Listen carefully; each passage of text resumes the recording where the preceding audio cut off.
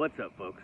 Kevin here, aka the Tattooed Toy Hunter, and uh, I'm just getting home today. It's a beautiful Friday morning, nice and sunny, and uh, found a package in the mail. So I'm very excited to go and see what this is all about. So let's get inside and let's open this up. Y'all hear that? Hulk smash, puny tattoo man.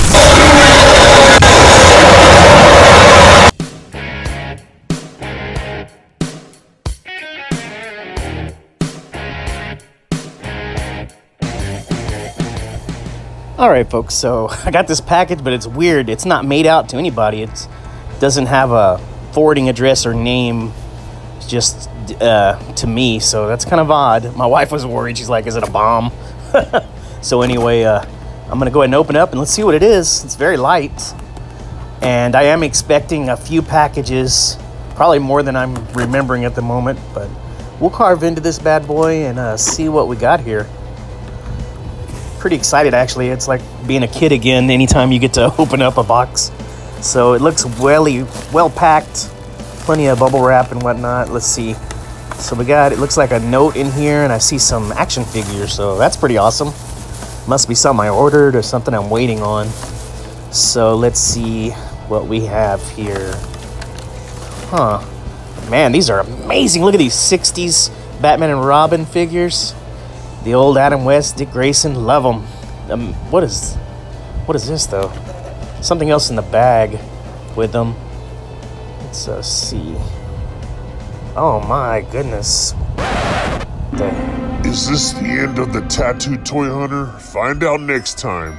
Same Tattooed Toy Hunter time, same Tattooed Toy Hunter channel. P.S. My next box send will have the antidote. Your pal, Uber Hulk.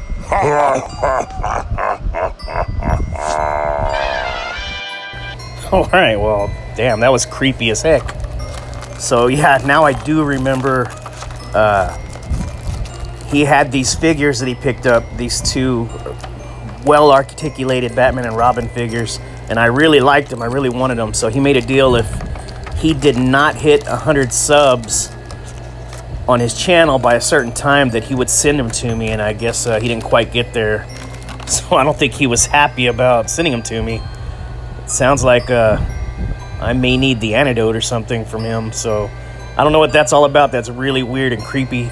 But let's go ahead and check out these amazing figures.